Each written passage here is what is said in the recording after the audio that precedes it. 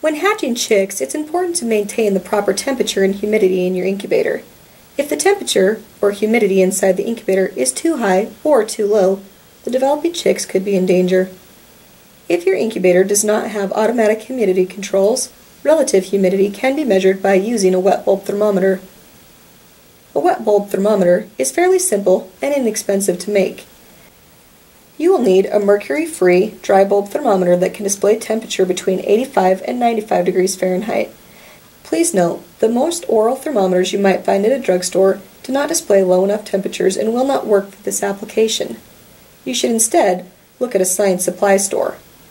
Once you have your thermometer, be sure to shake the thermometer down below 80 degrees before using it. You will also need a 6 inch long piece of hollow cotton shoelace. It's important that you use cotton shoelace to ensure proper water absorption. Nylon and polyester laces will not work. You're going to attach one end of the shoelace around the bulb of the thermometer.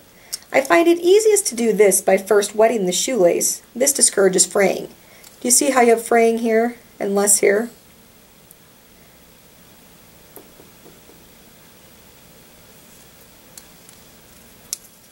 It's important that the shoelace completely surrounds the bulb of the thermometer. So as we open it, we're going to put it around the thermometer.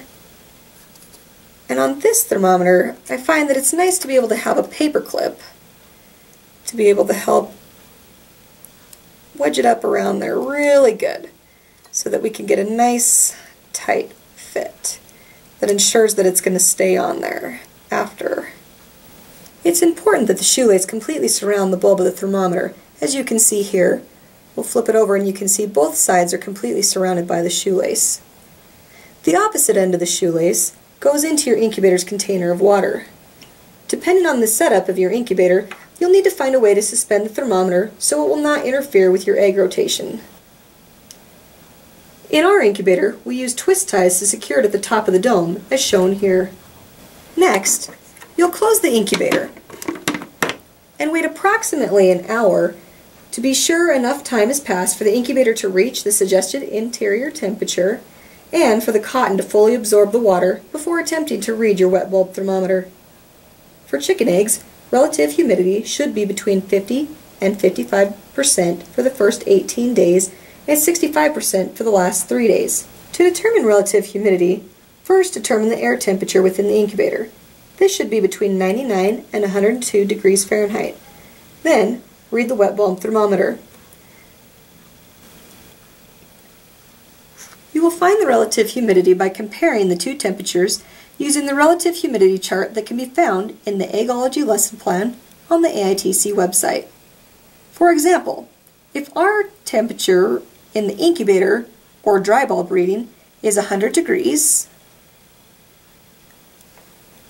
and our wet bulb reading is 84 degrees. I'm just going to follow this across to where those two lines meet. This percentage, 52%, is the relative humidity.